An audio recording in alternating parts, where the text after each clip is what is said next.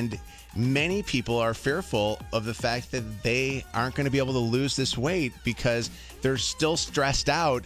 Uh, but this is the time when they've got to start thinking about, hey, we're going to be hopefully back out of our houses soon. When the weather was colder and rainier, it seemed okay to have, uh, well, like I had that extra snack between dinner and second dinner. You know, I was, I had a lot of trips to the kitchen, but now it's it's there's a self awareness now. We realize, okay, now we got to get control It's over. It's going to be so hard because we've all fallen out of our habits that Yeah. were pre-quarantine, and also like the sweatpants wearing. Yeah. you're not aware if you're not putting on normal jeans and shorts that you might be getting a little right. pudgier in places because you're just wearing sweatpants all the time. That's why So, that's why we have taken Mike from our show's advice and we have just cut our quarantine jeans. Yeah. So into, now into short. Yeah, so now they're shorts.